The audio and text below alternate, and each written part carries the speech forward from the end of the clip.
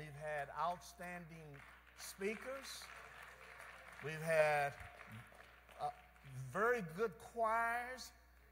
And we've had a host of musicians to help us along the way. Can I hear amen on that? Yeah, God is good. So glad to see you, too. So glad to see you. You know, uh, it's good to, to be in God's house. For the Bible says, where two or more are gathered in my name, I'll be in the midst. Amen? Amen. So, on behalf of our pastor and First Lady Bishop Charles and Lady Mae Blake, our leaders, Dr. Catherine Gray and Deacon David Moore, the Evangelist missionaries, brotherhood, fellowships, and the entire West Angeles church family, you are truly, truly welcome. Not only you're welcome tonight, but we invite you to each and every night of this revival. Now, we are living in a day and time that is full of happiness and circumstances that can fill your heart and mind with timidity and fear God has given us a not a fear spirit of fear. The question tonight is, are you ready for a breakthrough? Now wait a minute, now wait a minute. Are y'all ready for a breakthrough? All right now. All right. Don't leave me up here by myself now. We, we ready for a breakthrough.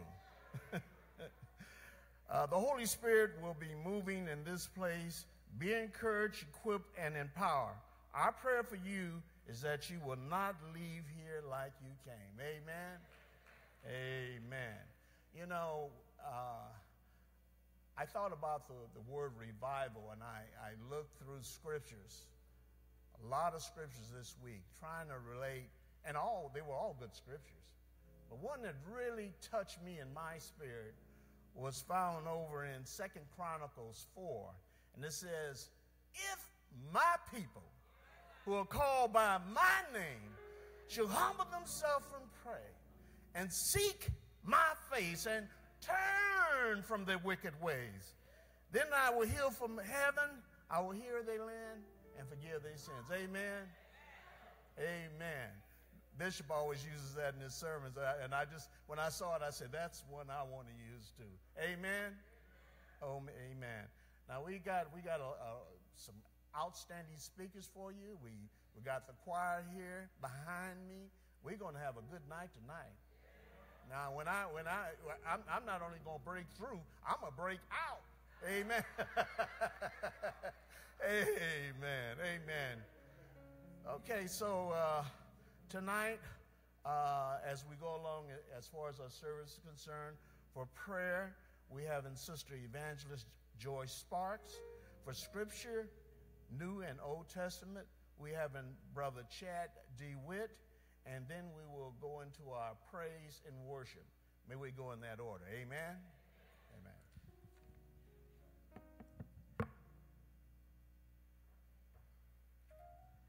Amen. Amen. Let us stand.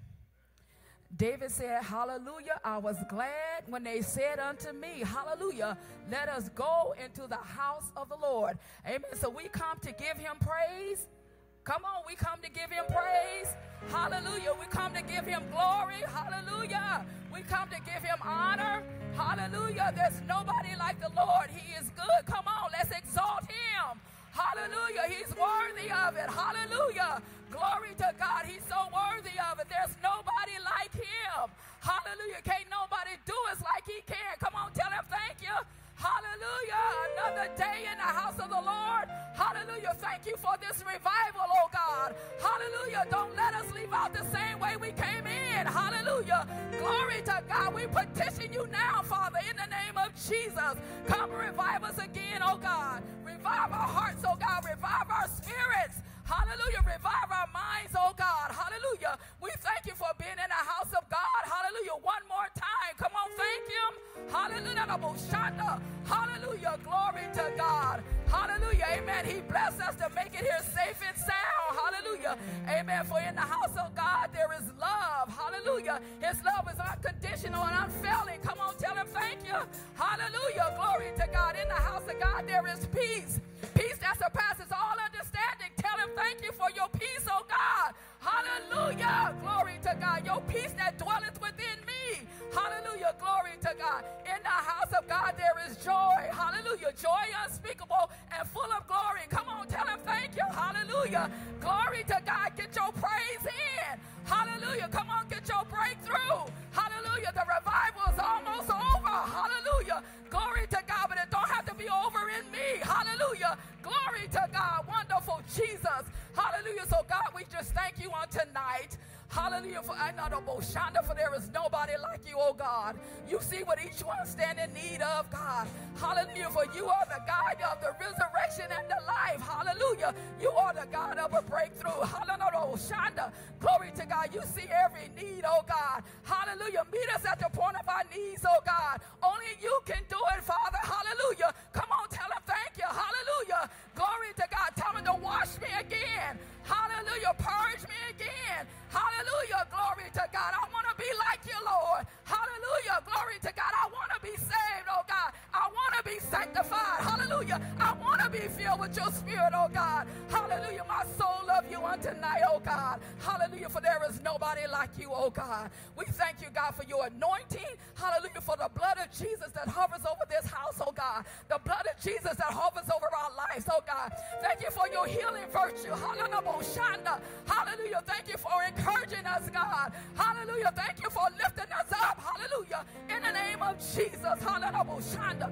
Glory to God. We just thank you for your goodness, God. Thank you for your mercy, your amazing grace. Hallelujah. For it's by grace that we are saved. Hallelujah. Through faith and not our works. Hallelujah. So, God, we just thank you on today. We thank you for our great leader, Bishop Blake, and his lovely wife, Lady Mae. We thank you for our leaders here. Hallelujah. Glory to God. Come on and bless his name.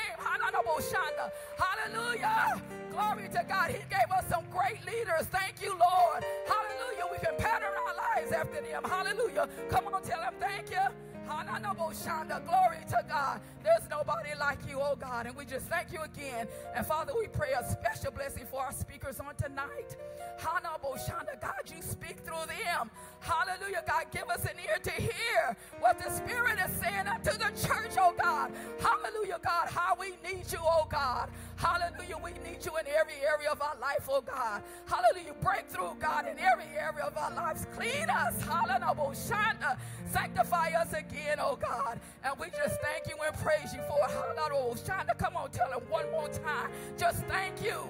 Hallelujah. Thank him like it's your last time. Tell him, hallelujah. We praise you, oh God. Hallelujah.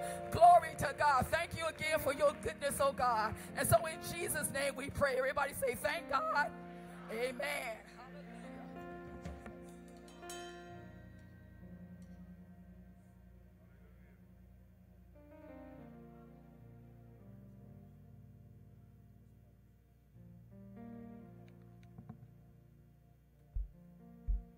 What are the keys for a breakthrough? Is it drugs? Is it sex? Is it running away? Is it family or friends?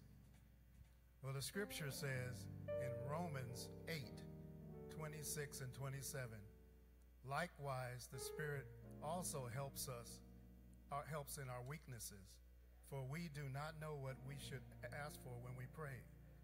But the Spirit Himself uh, makes intercession for us with groanings which cannot be uttered. Now he he, can uh, he searches the hearts knowing what the mind of the spirit is because he makes intercession for the saints according to God's will. And in Acts 16, 25 and 26. But at midnight, Paul and Silas were praying and singing hum, uh, singing hymns to the Lord, to God, and the prisoners were listening to them. Suddenly there was a great earthquake so that the foundations of the prison were shaken. And immediately all the doors were opened and everyone's chains were loosed. Matthew, Matthew 17, 19 through 21. Then the disciples came to Jesus privately and said, Why could we not cast out? So Jesus said to them, Because of your unbelief. For surely I say to you, if you have faith of a mustard seed, you will say to this mountain, Move for he, from here to there, and if you if it moves, and nothing will be impossible for you.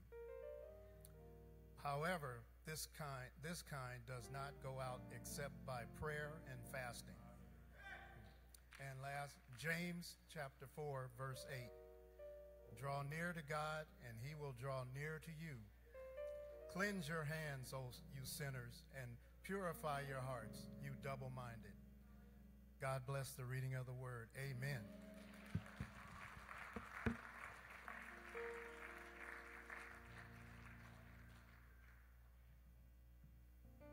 Well, praise the Lord, everybody. Oh, come on, praise the Lord, everybody. Come on, praise, your, praise the Lord, everybody. Clap your hands, all ye people, and shout unto God with a voice of triumph.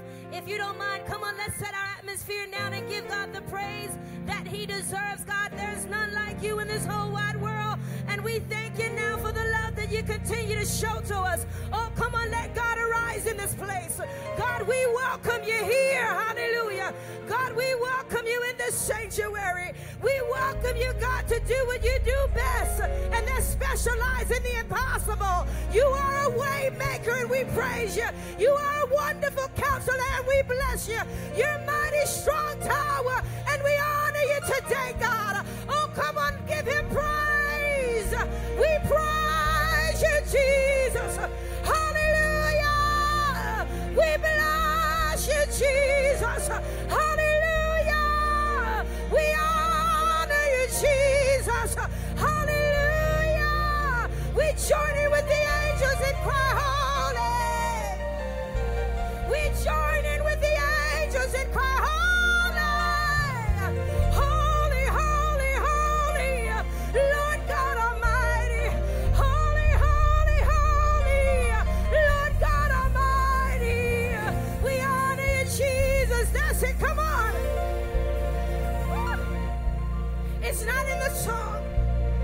but in what we do. Hallelujah. And we bring the sacrifice of praise into the house of the Lord. Sometimes my sacrifice means I don't feel like it, but because I love you, Jesus, I'm going to give you my best praise. Because I love you, Jesus, I'm going to give you my best praise. Hallelujah. We cry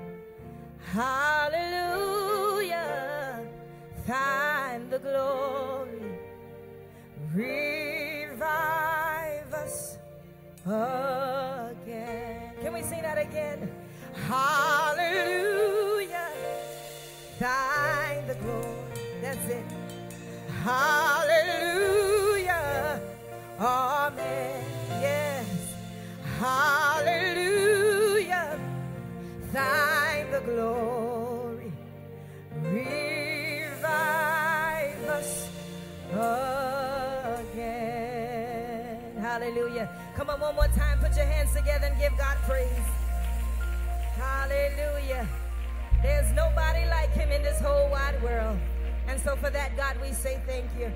There's nobody like you in this whole wide world, and so we'll bless you. I got a song I want to teach to you real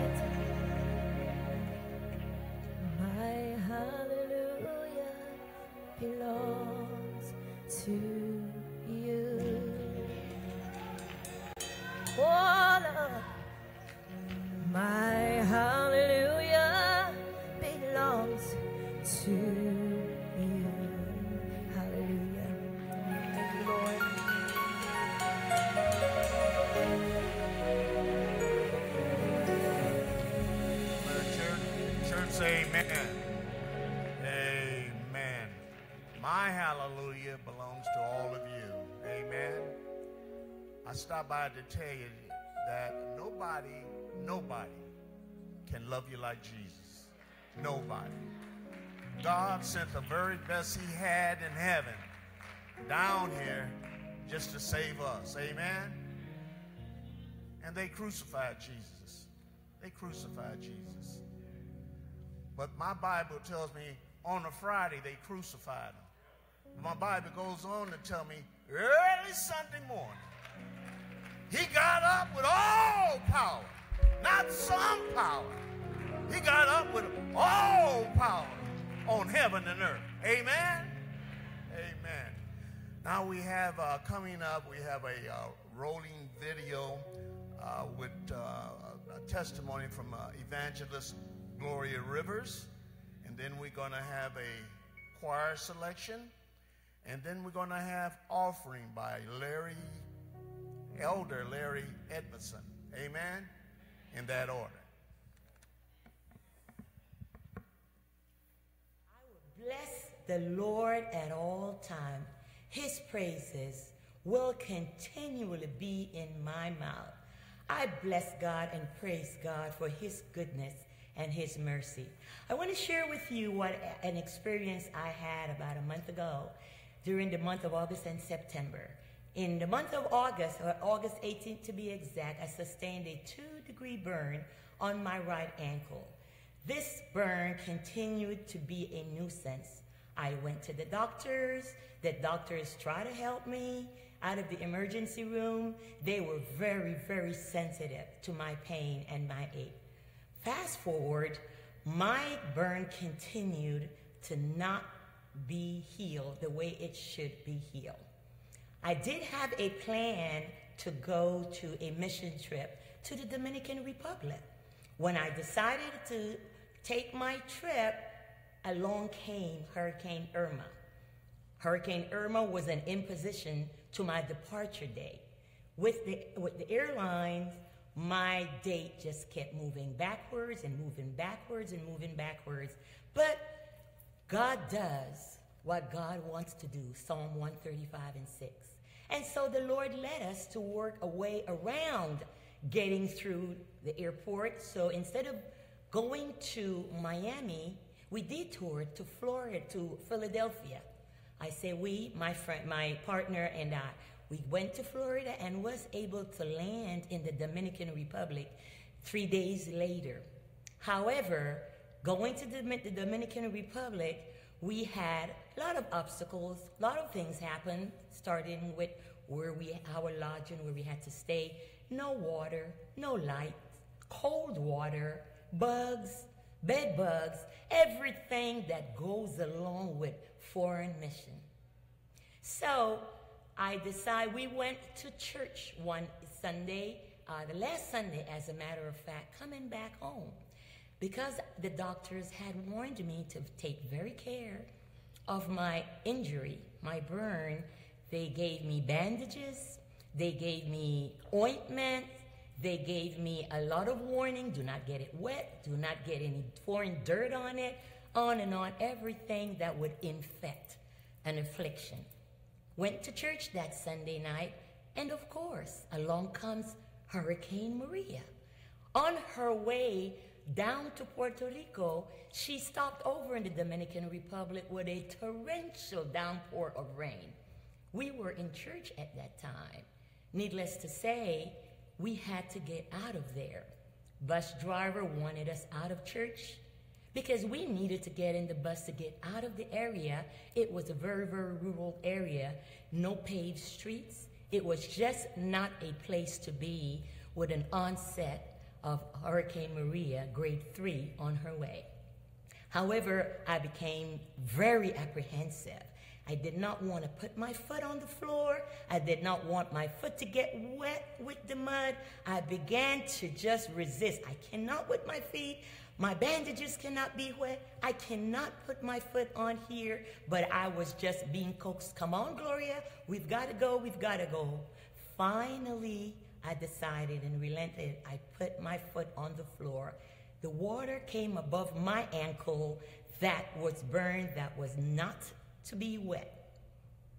God is a good God. I got on the bus and I began to panic. I wanted everything that was dry to dry off the water from my feet. However, nothing worked. Got to the mission house and I began to take care of my ankle the best way that I could. Applied much ointment, much bandages. The following morning, I was awakened, and when I got up, I decided, let me look at my foot to take care of my foot. And lo and behold, I got a name and healing. My burn and my foot was as smooth as a baby's face. Praise God. Oh, magnify the Lord with me. Oh, magnify the Lord with me. And let us exalt his name forever. Amen.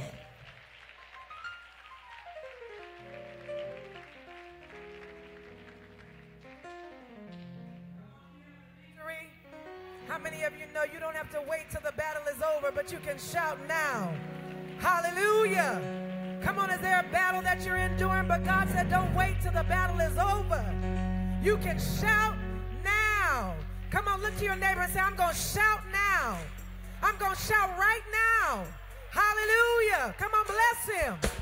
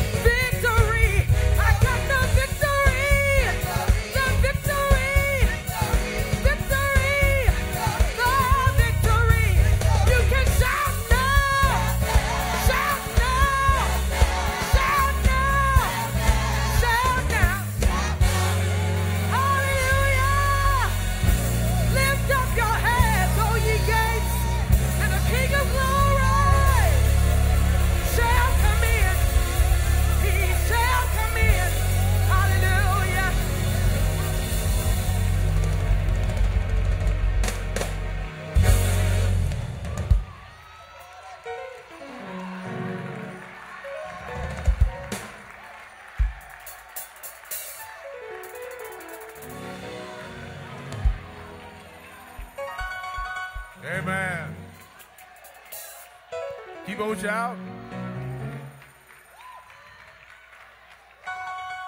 Let everybody say amen. We're here now to give a worship the Lord in our offering. And just keep on shouting. Let it radiate through your giving. You know, so you want to go ahead and give something more than you anticipated to give. In your shout.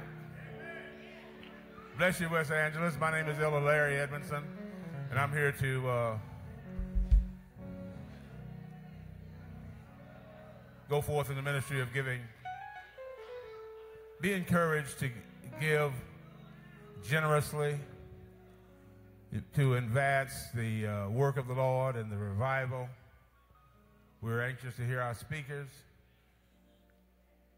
But as you give, know that you're blessing the revival. And you don't know who may be affected by your giving. There's no price on salvation.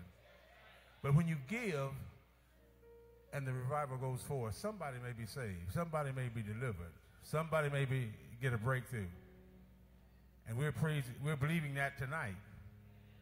So in your giving, if you use the envelope system, um, and uh, just encourage, uh, at least give, if you can, strive to give a $25 offering.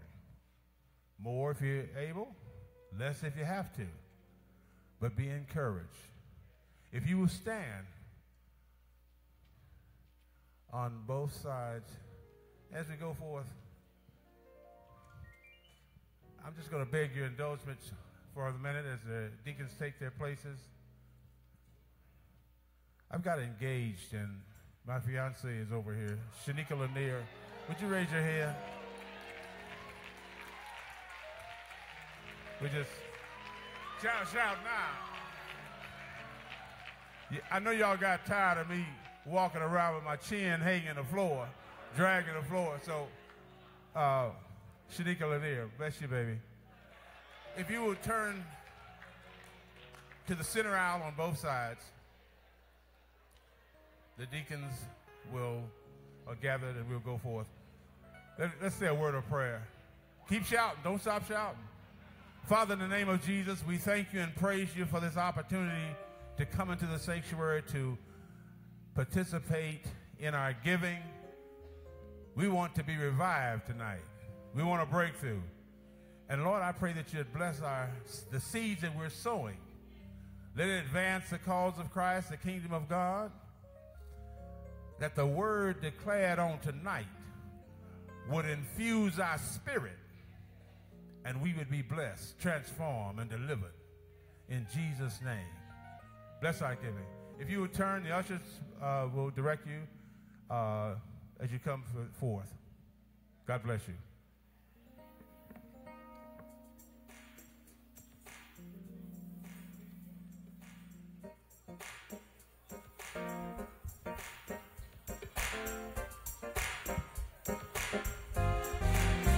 Everybody say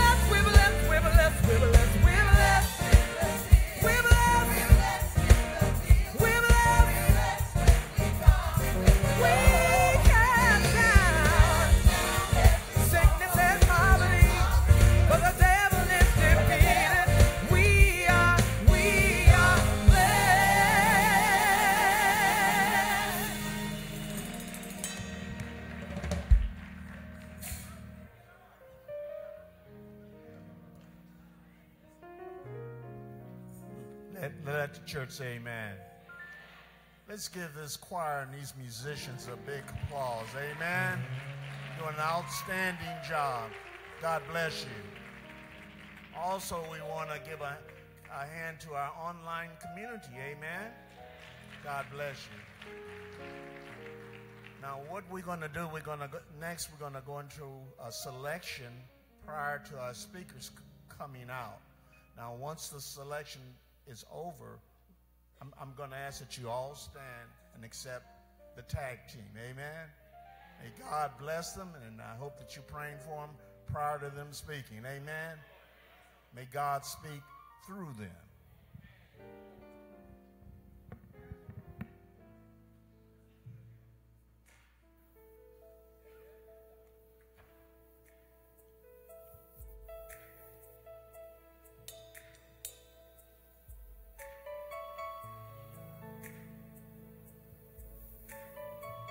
Come on, lift your hands if you love Jesus. Do you love him tonight? Hallelujah.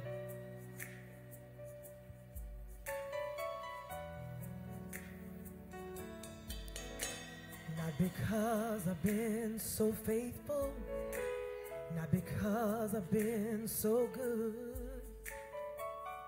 You've always been there for me to provide my every need. You were there when I was lonely. You were there in all my pain, guiding my footsteps, shelter from the rain. And it was you, you made my life complete. You are to me my everything. That is why I sing. Jesus, I love you. Because you care. Couldn't imagine if you weren't there.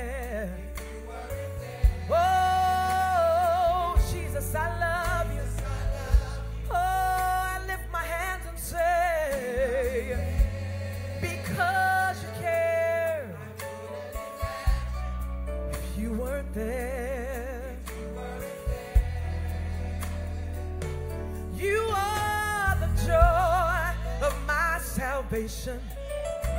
You the peace in my storm. Your loving arms protect me. You shelter me from harm. You are Alpha and Omega. You're the beginning and the end. You're my strong tower, my dearest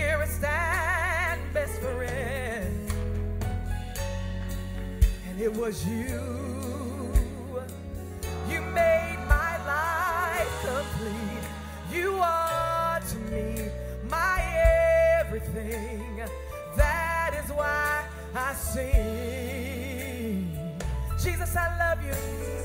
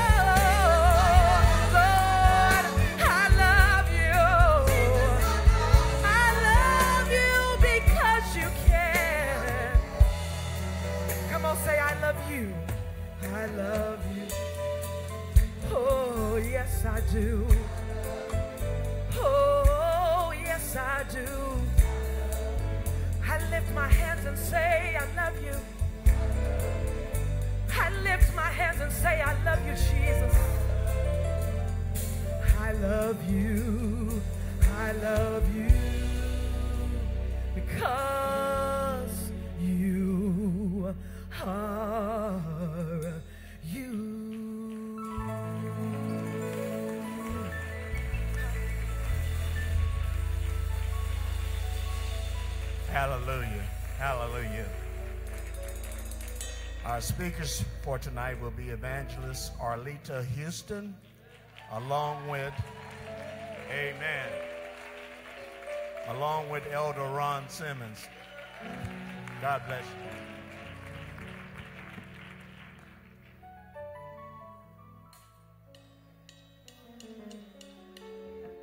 Jesus, I love you, I love you. Because you care. Jesus, I love you. Because you're there. If it's a love of God that constrains me to love him, I love him because he first loved me. I love him because he lifted me out of the sinking sand and brought me into the marvelous light. I love him because nobody can love me like he does. I love him because he's the greatest thing that ever happened in my life. I love him because he cares. Praise God. You may have your seats. Praise the Lord. I'd like to give honor to our pastor in his absence, to Dr. Gray, to Elder Moore, Deacon Moore. Praise the Lord. Prophecy. Amen. and to all the saints of God. I thank God for breakthrough. I thank God because as I sat in my seat every night, I was being scared every night. I was like, Sunday night I came, and Evangelist Karen White just stood here and said, and I was like, oh Lord. Then Monday night I came, and Sister Marcia was walking across. She had her strut. She was walking across the front. Then Wednesday night, Tuesday night, I came, and Evangelist Karen Cox was just going all across the platform, you know, speaking the word. And I came last night, and our speaker got up. She didn't have no notes. She just walked back and forth, back and forth. Praise God. But I said, Lord, I thank you for a breakthrough. Hallelujah. Glory to God. That I can be myself. Hallelujah. And I thank God for what He's given me. What are the keys for a breakthrough? Keys are instruments used to open or lock a door. There are different keys to different doors. A key you don't have is a door you can't open. And a door you can't open may hold a privilege you can't enjoy. I don't know about you, but keys can be a real problem if you lose them. A couple of years ago, I was here the last night of the revival. I came in and I sat down over there and I dropped my keys on the side of me instead of putting them in my purse. And as the night went on, the person sitting beside me, unbeknownstly, picked up my keys and put them in her purse. So as I was ready to leave, and I'm staying here till everybody's gone almost, when I went to my car and went through my purse, no keys. I'm like, oh my God. I ran back to the church, look where I was sitting, no keys. I couldn't ask anybody to take me home. I couldn't start my car because even if I got home, I didn't have keys to get in. But thank God for friends. I had a friend that let me spend the night until I found out where my keys were. Keys in the Bible are used as a symbol of authority. In Isaiah 22 and 22, we see Eli- Eliakim the priest receiving the key of the house of David on his shoulder. A trusted servant to the king wore the key to the king's house on a hook on his shoulder. Therefore, he had the authority to open or close the king's door. In Revelations 3 and 7, it uses a symbol, similar symbolism, speaking plainly of Jesus having the key of David. In ancient Israel, the human king was in fact the steward of God, the true king of the land. Similarly, the divine Christ is the steward of his Father's kingdom. With, the, with that authority, only Jesus can allow or disallow entrance into his kingdom. For he said, I am the way, the truth, and the life. No one comes to the Father except through me. A key is also knowledge and understanding or revelation of a principle contained in the Word of God. In Matthew 16, 16 through 19, Jesus or Yeshua asked his disciples, Who do you say that I am? To which Peter replies, You are the Messiah, the Son of the living God. And Jesus said to him, Blessed are you, Simon Barjona, because flesh and blood did not reveal this to you, but my Father who is in heaven. I also say to you that you are Peter and upon this rock I will build my church, and the gates of Hades will not prevail against it. I will give you the keys of the kingdom of heaven, and whatever you bind on earth shall have been bound in heaven, and whatever you loose on earth shall have been loosed in heaven. Peter was blessed by God with the revelation of who Jesus really is. Up until that no moment, no one got it. Peter still didn't really get it you know, God can give you something and you don't get it until you get alone and spend time with Him for more understanding. Jesus was saying, upon this rock or foundation, the revelation that He is the Messiah or the Son of God, His kingdom would be built, and not upon Peter. He was saying that those who receive from Father God the revelation of who Jesus is and surrender their lives to His Lordship are those whom he will build his kingdom. This indeed was and is a breakthrough to all who come to know him as Lord and Savior. The keys were not just given to Peter, but to the church. These keys to the kingdom still have a lot to do with the revelation of who Jesus is. He being God is always present tense. I am that I am. Revelation always brings a certain amount of authority in the one who has received the revelation. Paul, Peter, John, and others used these keys to loose things on earth as they were already loosed in heaven, and to bind things on earth as they were already bound in heaven, as they were given greater revelation to bring growth to the kingdom.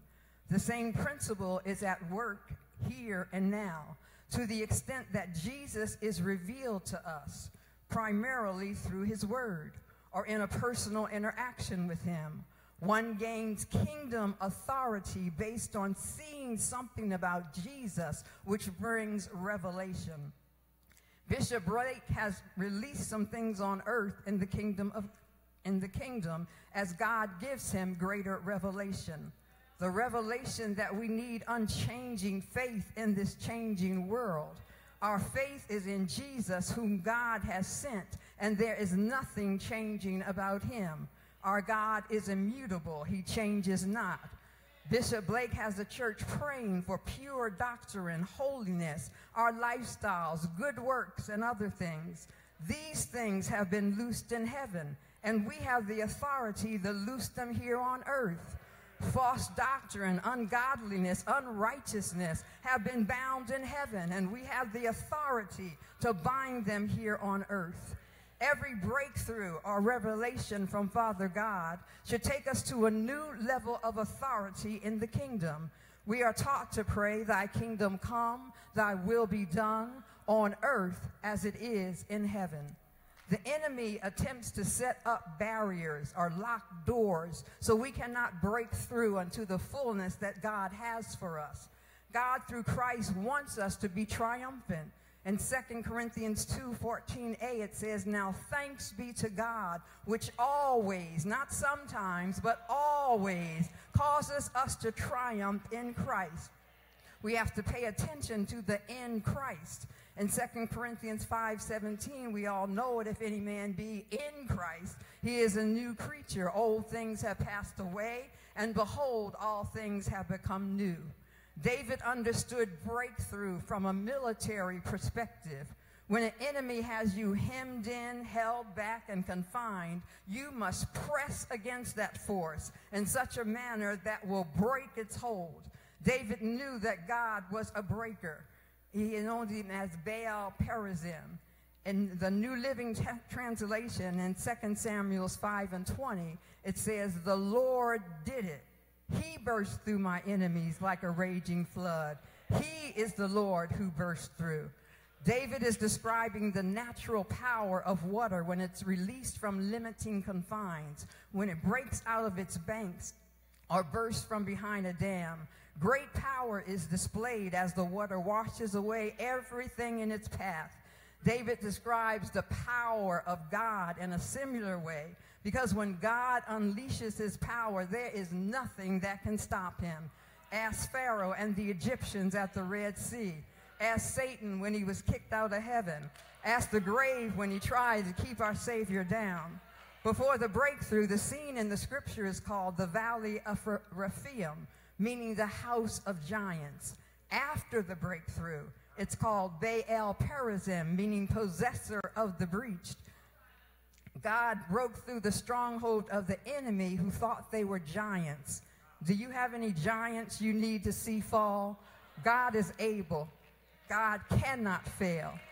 So, what does breakthrough look like us? Because it's not a term that's found in the New Testament, it's found in the Old Testament. So, breakthrough looks like a process of removing an obstacle to your spiritual walk with God.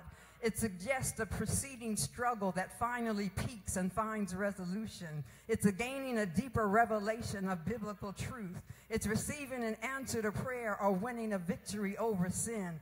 It's an experience having reached a new level, whatever that level means to the individual, because we're all on different levels. Breakthrough is about rising above things of the past and showing that we do not have to be bound by the past, but that through Jesus Christ and his mighty Holy Spirit, we have a glorious present and a future to grasp a hold of. There is no future in the past. The past is gone. Today is here, and God wants us to live today in such a way that is far better than anything we have ever accomplished. What are some breakthroughs in the Bible? Paul's experience on the Damascus Road because he saw for the first time who Jesus really is. The woman with the issue of blood because she came to know Jesus as a healer.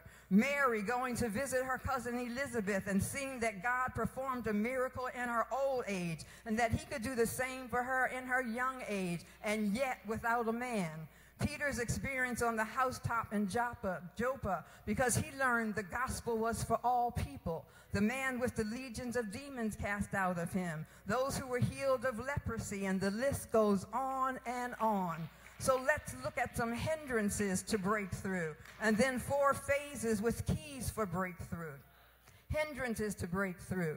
We are waiting for God and not realizing that He is waiting for us.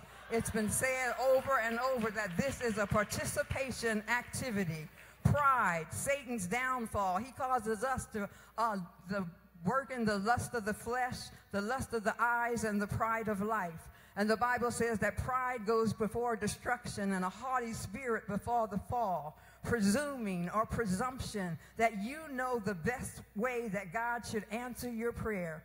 David prayed in Psalms 19:13, "Keep back your servant also from presumptuous sins. Let them not have dominion over me."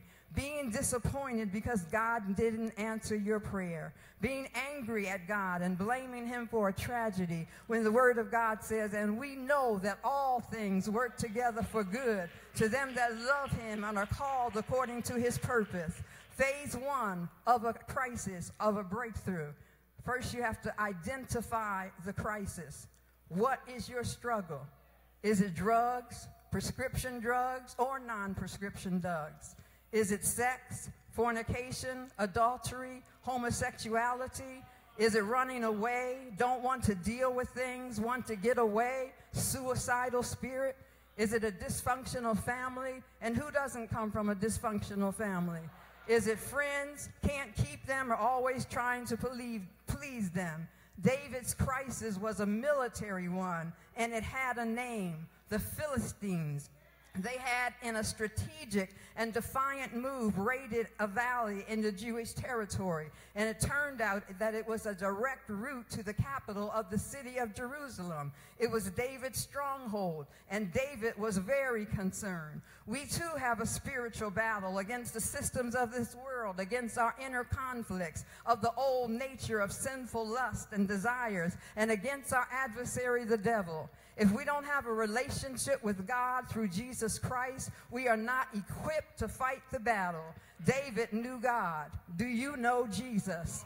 We have to know that God can and will allow us to face challenges, obstacles, and crises that will push us up against our faith and belief in God. He allows us to go through. When you look at the word through, you see the word rough. But if you keep on looking, you'll see the word out. He will allow us to go through, even though it's rough, so we can break out of ourselves and break through to the next level. Praise the Lord. Phase two is we go to God. Seek ye first the kingdom of God and his righteousness. We cry out for help. We go to God in the name of Jesus. Our biblical response says in James 4 and 8, draw nigh unto God, and he will draw nigh unto you. Cleanse your hands, you double minded, uh, you sinners, and make your hearts pure, you double minded. But when you go to verse 10, it says, Humble yourselves in the sight of the Lord, and he will lift you up. Humbling ourselves leads to exaltation. It leads to being lifted up. It leads to breaking through to different levels. The word says that men ought to always pray. Your prayer needs to be specific. Set me free from these drugs. They are hindering me from my purpose in your kingdom. I'm dependent upon you, and you are my source. My body is your temple, and having sex outside of marriage defiles your temple. Cleanse me and make me whole. Help me to stop running away, to know that you have not given me a spirit of fear, but of love, power, and of a sound mind. I can do all things through Christ who strengthens me. Show me how to love my family and friends that have hurt me. Teach me how to forgive them so that I can pray for them and not allow them to become idols in my life where I put them before you. Help me to love you with all my heart, soul, mind, and strength and to love my neighbors as you love them. David inquired of the Lord, saying, Shall I go up against the Philistines? Will you deliver them into my hands? The Lord said, Go up, for I will deliver them into your hands. This was war, and you don't fight a battle without your war clothes on. Ephesians 6 and 10 says, Put on the whole armor of God, that you may be able to stand against the wiles of the devil. For we do not wrestle against flesh and blood, but against principalities, powers, the rulers of darkness of this age, against hosts of wickedness in heavenly places. Therefore, take up the whole armor of God, that you may be able to withstand, that you may be able to stand your ground, that you may be able to stand and face the enemy. Stand therefore, having girded up your loins with truth, having put on the breastplate of righteousness, and having your feet shod with the preparation of the gospel of peace and above all, taking the shield of faith, which you will be able to quench all the fiery decks, de- darts of the wicked one, and take the helmet of salvation and the sword of the Spirit, which is the word of God, praying always with all prayer and supplication in the Spirit. David received his answer to prayer and his instructions to go up along with the promise that God would deliver them into his hands. So, first, we have to identify the crisis. We have to go to God in prayer and we have to wait for God's response. And then we have to obey what God says. But I want to go back to we have to wait because sometimes, maybe even a lot of times, our answers don't come as quickly as David did. And it seems his answers, it seems like God is too late for us. But we know he's always on time. Waiting on God is training ground for building strong faith as we learn to put our trust in Him. Sometimes we may have to add fasting with our praying. Fasting disciplines the body and it makes us a useful instrument to God. It determines our victory over the flesh. It builds our inner spirit by diminishing the power of flesh over us. Fasting is not a diet, it must be with prayer, repentance, and soul searching. Praise the Lord. Phase three is that we go on in faith. The acronym for faith is forsaking all. I trust Him. Forsaking everything that you have put your trust in. Clinging to Him and Him alone. He can wipe out the taste for drugs. He can keep you without sex, and you will be more fulfilled in saving yourself for the one He will bring into your life for holy matrimony or saving yourself just for him and him alone who died for you and gave yourself gave himself for you when you recognize that you are dead to sin and alive to righteousness, and that the life he gives is abundant life and full of glory, you can stop running away from the things and run to him. You don't have to give up because you already have the victory. We have to learn to obey God's word. Jesus is the Word. We have to abide in His Word and let His Word abide in us. We have to respond to the Word and not our circumstances. David had to make a decision. Will he go with God's word or will he go with his own feelings? David decided to step out on faith. What is your choice? Will you step out on faith or will you sit down based on your emotions? Phase four is to praise him in advance. Don't wait till the battle's over. Shout now. Praise God. Hallelujah. Glory to God. Thank you, Jesus. Our biblical response says in Acts 16 25 to 26, at midnight, the worst time of the night, at midnight, Paul and Silas were praying and singing hymns, praises to God, and the prisoners were listening to them. Suddenly, there was a great earthquake, so that the foundation of the prison was shaken, and immediately all the doors were open, and everyone's chains were loosed. There's an old song that says, Praise the Lord, for our God inhabits praise. Praise the Lord. For the chains that seem to bind you, they drop powerless behind you when you praise Him. Evangelist Karen White told us how and demonstrated how when we praise God, He comes and take a seat and begins to fight our battles for us. David was told in his second battle with the Philistines to wait until he heard a sound of marching and of the mulberry trees. The sound of marching was not merely wind blowing, but it was the sound of the angelic armies of God going ahead of them into battle. Jesus has already won for battle for us. The breakthrough has already been accomplished, but he wants us to make a sound. We need to knock on the doors of heaven. We need to use the key of praise and worship to open the doors and loose blessings, not just for us, but also for others so that they can be set free. When the chains fell off of Paul and Silas, they also fell off of everyone that was in the prison, and the guard and his whole family were saved. Will your praise bring salvation to someone else? Will your praise incite or encourage someone else to praise God? We will bless the Lord at all times, and his praise shall continually be in our mouths. Praise God, and God bless you.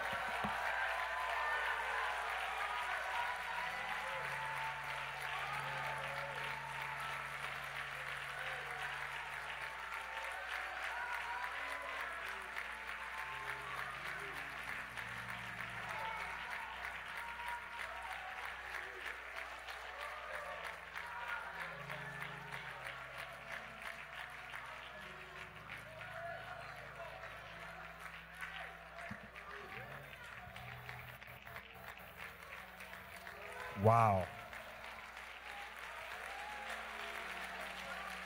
Wow.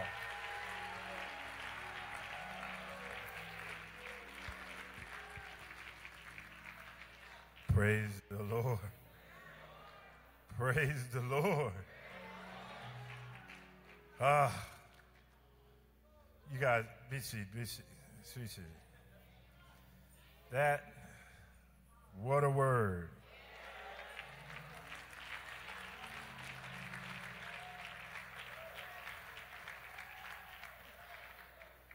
That, you know what? I'm kind of mad at these two right here.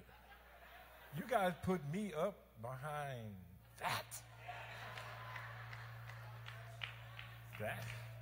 We need to pray for them too. Let's give Sister Houston another hand. Amen.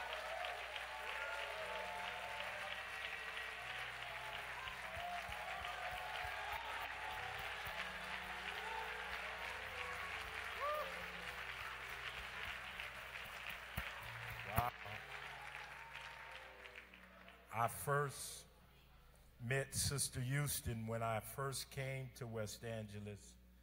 I was such a babe in Christ and I knew nothing about God. And I decided I was going all in, meaning I was going to do whatever they told me to do. And so they told me that I should go to 6 a.m. prayer. You need to know how big a change that was for me because of where I came from. But I was willing to go all in. And one of the first people I met was Sister Houston. And I can remember going back home and sharing with my wife, saying, There's some nice people at West Angeles. Because they took me in because I had no clue what I was doing right? I just knew I didn't want what I had. And I thank God as we sat next to each other, it was just such a blessing. And to hear fire, still the same. Amen. Amen. Love you. Praise God. Lord, help I want to thank God for my wife who is here. I want to, Yolanda. Amen. I also want to thank God for Dr. Gray, my buddy, Deacon Moore, and then to the best pastor in the world, Bishop Charles E. Blake.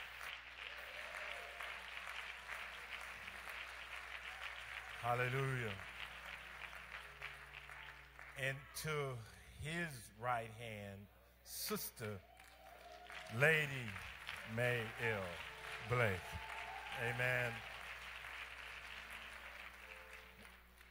Anytime I'm asked to do anything in the church, be it read a scripture or pray or even grace this pulpit, I just thank God because one of the greatest preachers in the world stands here. And it's not by accident that God sent me here. And while I was sitting there, I got a word for the choir. Choir. The Lord brought you here with your gift. He brought you here with a gift. He brought you to the greatest church in the world to use your gift as I was sitting there, he said to let the choir know. Amen. Amen. Your breakthrough is giving your all when you sing, and we saw it happen here. So I've done what I was supposed to do. Amen. Let me get into the word coming from Matthew 14 and 25 and 33. Now, in the, and you guys all know this passage of scripture. Now, in the fourth watch of the night, Jesus went to them walking on the sea. And when the disciples saw him walking on, they were troubled, saying, It's a ghost. And they cried out for fear. Jesus spoke to them, saying, Be of good cheer. It is I. Do not be afraid. And Jesus answered him and said, Lord, if it is you, command me to come to you on the water.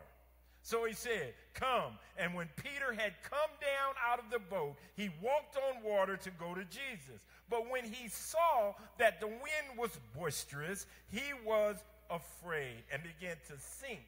He cried out, Lord, save me.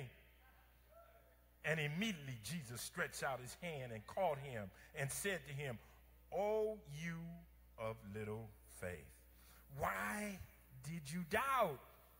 And they in and those who were in the boat came and worshiped him, saying, Truly, you are the Son of God. Pray with me as I bring this message entitled, Don't Five Minutes Before Your Breakthrough.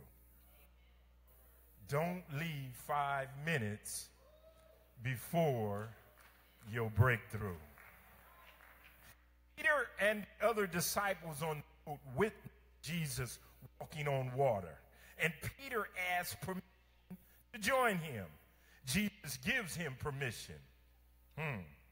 We really could stop right there. Peter got permission. Many people do things in the name of the Lord and never get permission. But that's another sermon. Peter steps out the boat and begins to walk on water, but takes his eyes off the King of Kings and the Lord of Lords. Peter starts out trusting God, he starts walking on water. A miracle. But in the midst of the miracle, Peter takes his eyes off the Lord and focus on the storm. Many of us have witnessed miracles in our lifetime. We witness things that can only be explained that it was God. But in the midst of these miracles, a storm arises. In the middle of being used by God, you get some bad news. You find out that your son or your daughter who you sent off to college is walking away from the faith. And now they're even smoking marijuana. Or the job that you've been on for years have sent you a letter and say they're having a layoff. And your name is on the list. In the middle of all your miracles, all that you've seen God do, a storm arises. I'm here to tell you don't leave five minutes before your breakthrough. Stay on your knees, mother. Keep fasting and pray, praying, fathers. Don't leave five minutes before your breakthrough. Jonah had been called to minister and he accepted the calling. But when God told him to go to Compton, he said, uh, wait a minute. When God told him to go to Nineveh,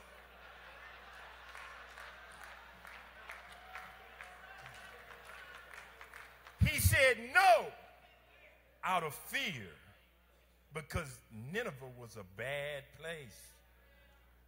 And because of his no, he had to be persuaded by God.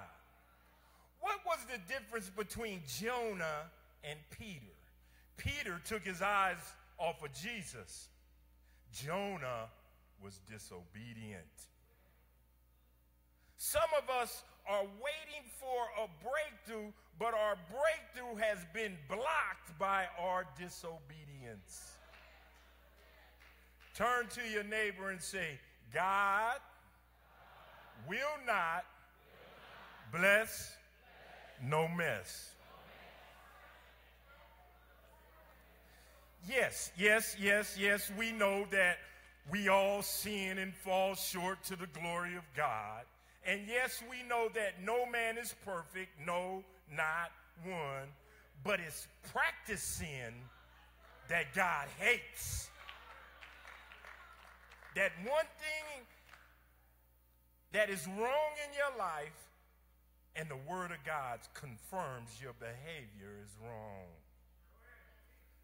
1 John 3 4 and 6 says, Everyone who makes practice of sinning also practices lawlessness. Sin is lawlessness. You know that he appeared in order to take away sins, and in him there is no sin. No one who abides in him keeps on sinning. No one who keeps on sinning has either seen him or know him. Make sure your behavior isn't blocking your breakthrough.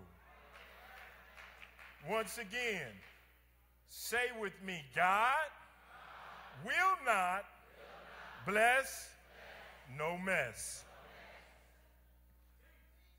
When I was first given this assignment, I thought about all the breakthroughs that have occurred in my life and how each situation made me a better person.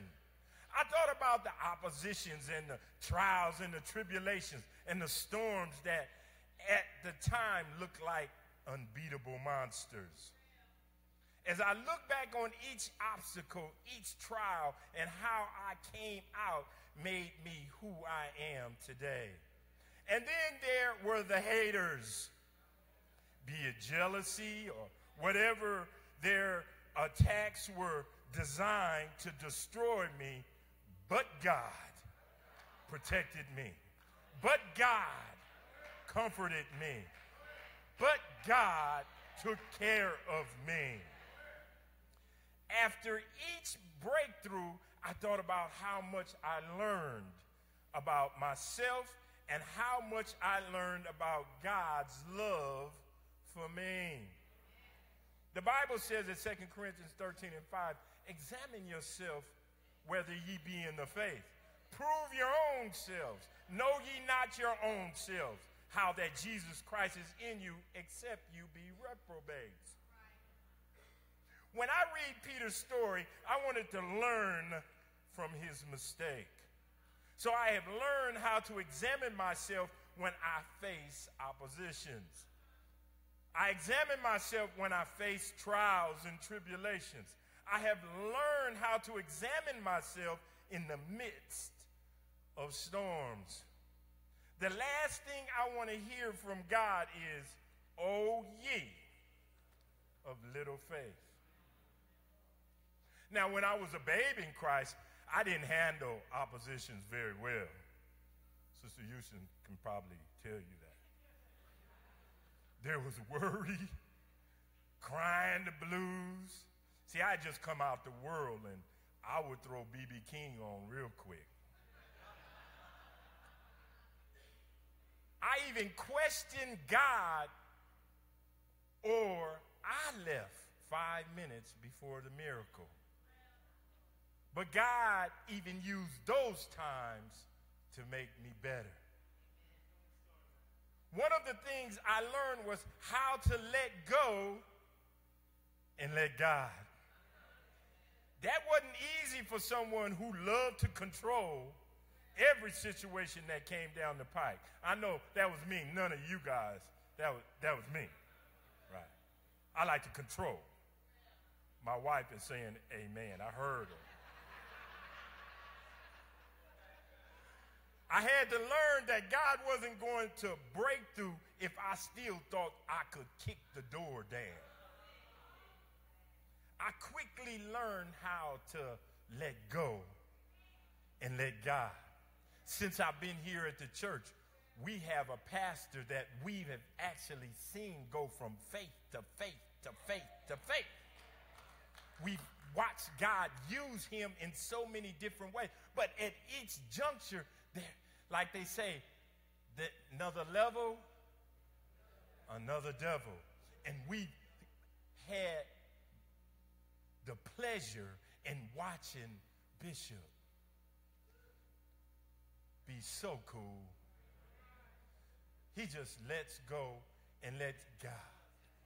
I've seen him in some situations where I would come home and say, you know, if it was me,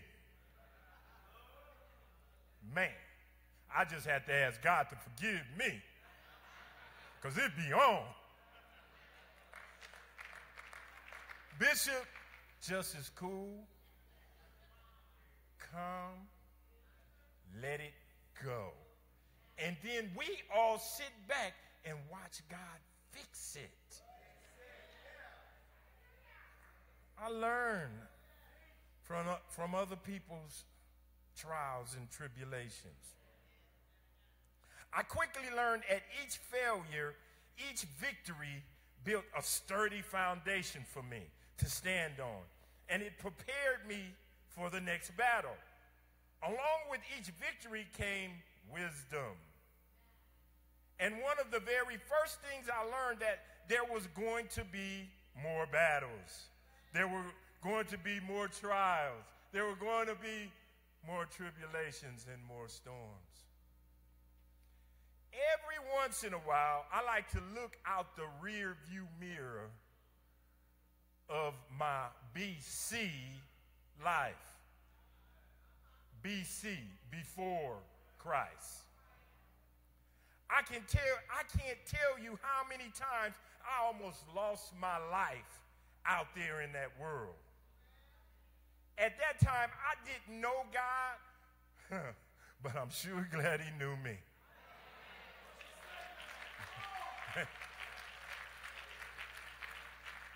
in all my foolishness, God still protected me. God still had a plan for my life. God still loved me.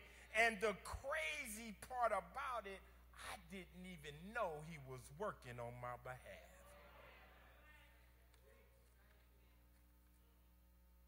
So, one of the very first questions I asked God, why?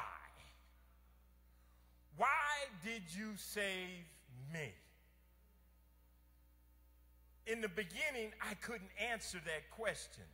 But today I can. Today I know that everywhere my feet land is where I'm supposed to be. God has a calling upon my life, and He knew I wouldn't sit quietly once I arrived.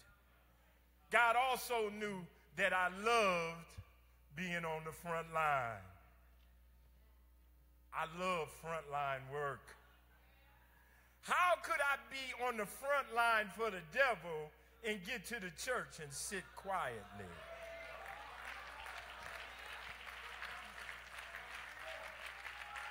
Onward, Christian soldier. Onward. Isaiah 6 and 8 also, I hear the voice of the Lord saying, Whom shall I send? And who will go for us? And then said I, Here I am. Send me. Or like they say in the hood, I'm down. Let's do this. As I grow in the Lord, my goal is to learn how to face trials and tribulations, learning how to face oppositions, learning to walk and talk like everything's going to be all right in the midst of the storm. James 1, 2, and 4. Count it all joy, my brothers, when you meet trials in various kinds, for you know that the testing of your faith produces steadfastness and let steadfastness have its full effect, that you may be perfect and complete, lacking in nothing. So I have learned how to smile in the midst of the storm. I smile because God has brought me from a very long way. So, why would God save my life when I didn't even know him and now, in the midst of a storm, think that I would die or perish? We don't serve a God like that. He could have left me in the party when they put the shotgun to my head. He could have let the bullets hit me when I was riding down Crenshaw in my lowrider, and they blew the windows out my car. Then I'm going to get here in the church and a storm arrives and I'm supposed to be scared? No. No. If he wanted me to die, he could have got me back then. Today, I work in the women's jail. One of the things that I try and teach the ladies is just because you made a mistake doesn't mean you are a mistake. Many of the ladies are fighting cases and they go back and forth to court for months and for some even years fighting to be free. These ladies need a breakthrough. They need a miracle. But in the meantime, how do they deal with wait? Waiting in a cell no bigger than this. Waiting. Depression, anxiety, loneliness meets them every day. My job, along with being a counselor, is to be a bright, shining light in a dark place. Because who I work for, I can't preach Jesus but I can walk and let my light so shine.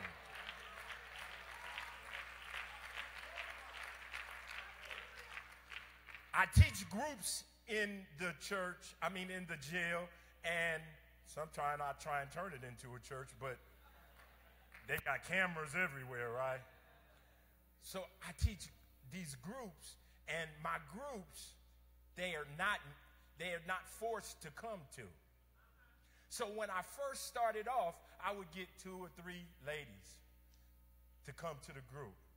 But I don't need a speaker or nothing. I speak loud. And when I'm speaking and they're locked up in their cells, I speak loud. And I start sharing. And so now I average 30, 40 girls a group.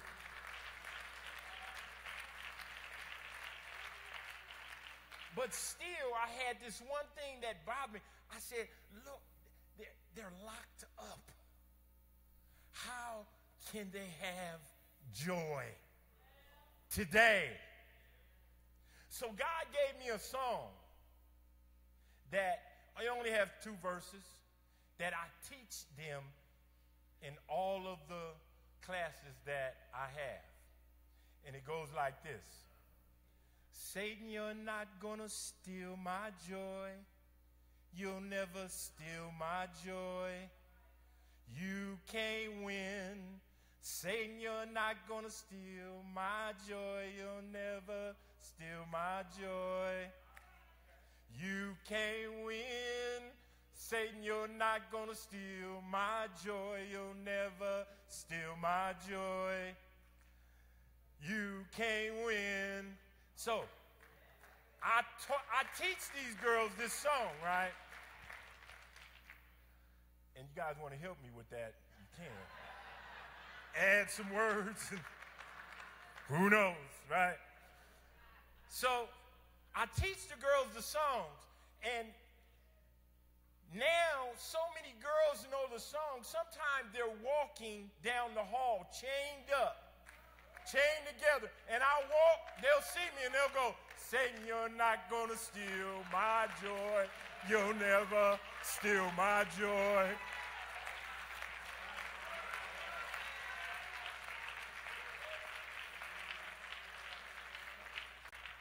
I walk into a pod, right? A pod has 25 cells on the bottom, 25 cells on the top two girls to each cell.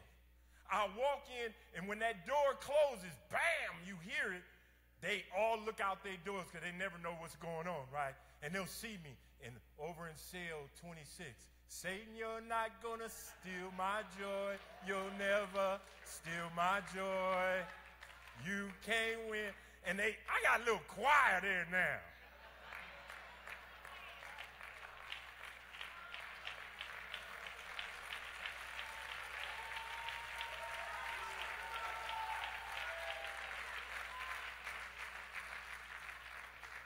In the midst of the storm is when you get your breakthrough. We have to learn how to take, never to take our eyes off of Christ, no matter what's going on. See, a miracle can't happen until impossible shows up.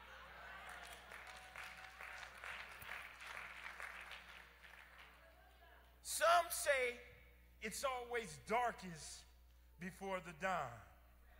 So in the midnight hour, get ready for your breakthrough. A group of tourists was touring a museum in Europe. With them was a guide explaining each piece of art. It was about 15 or 16 tourists, and they were they would get in front of one piece of art, and the guide would tell them about that piece, and then they'd move on down the hall, and they'd look at the next piece of art, and he'd explain when that was painted and who painted it, and they'd move on down the hall, and they'd look at this sculpture, and they he'd explain that piece, and all of a sudden they came upon this one piece. And this one piece had two characters on the painting Satan and one of the religious leaders of the time. They were playing chess. The religious leader, all he had was his king on the board. Satan had six or seven pieces had him surrounded. Satan on the picture is grinning. Ha ha ha. Got him. At the bottom of the picture is called checkmate. So the, the, the guide explains this picture and they move down the hall. Except for one dude. One cat just sat there and he looked at that painting.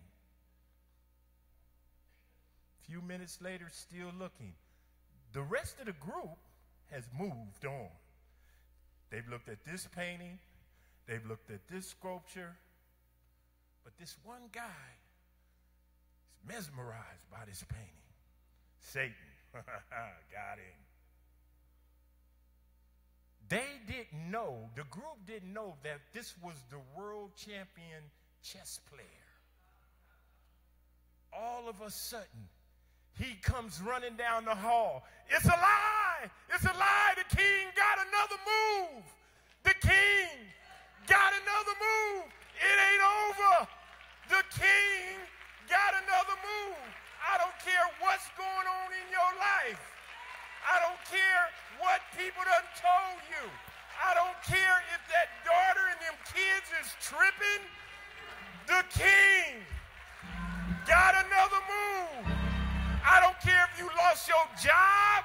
I don't care what's going on in your life. King Jesus got another move.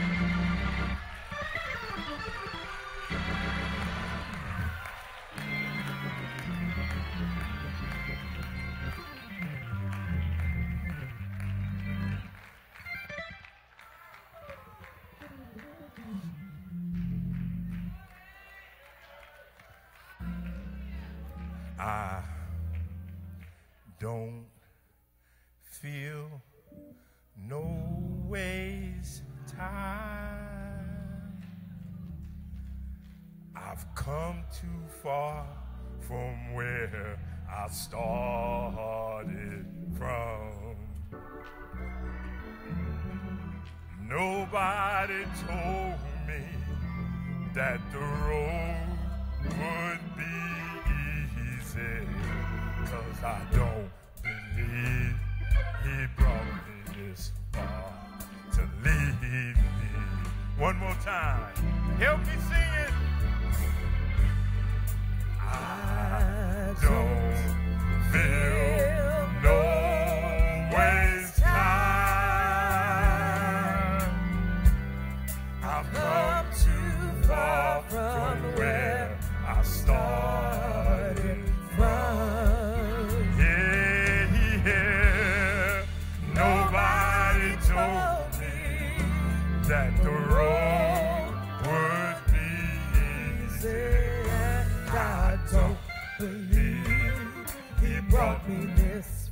I don't. I don't believe he brought me this far. I don't. I don't believe he brought me this far.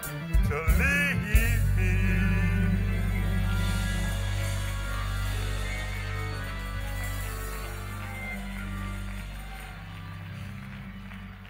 Father God, we just thank you and praise you, Father God, for your word. We thank you, Father God, for how you showed up on this evening. We thank you, Father God, that you got another move. We thank you, Father God, that we can believe that everything's going to be all right. Our breakthrough is here. Right now, I just want to pray for those that believe in your breakthrough.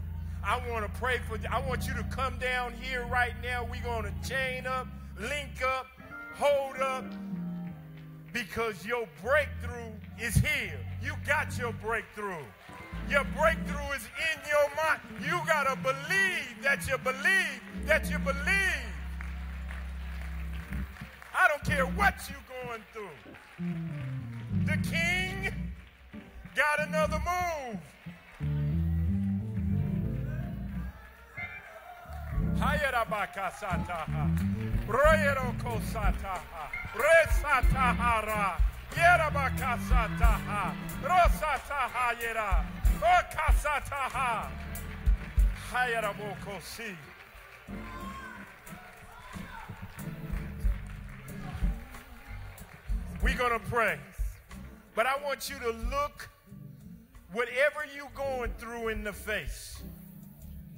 and believe that it's been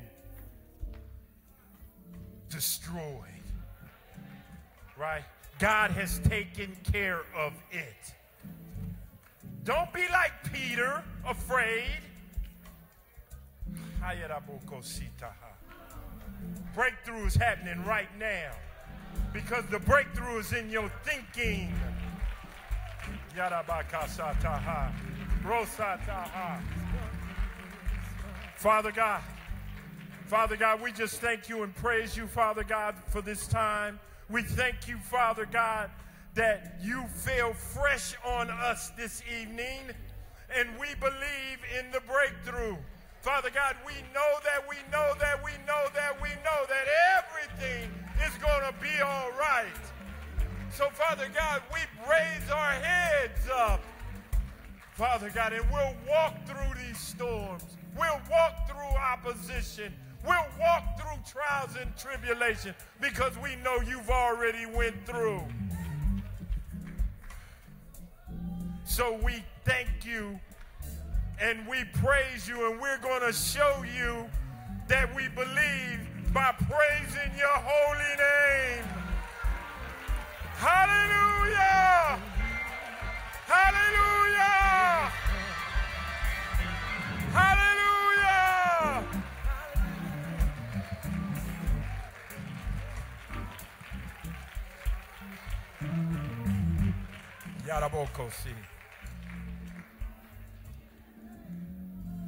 I don't feel no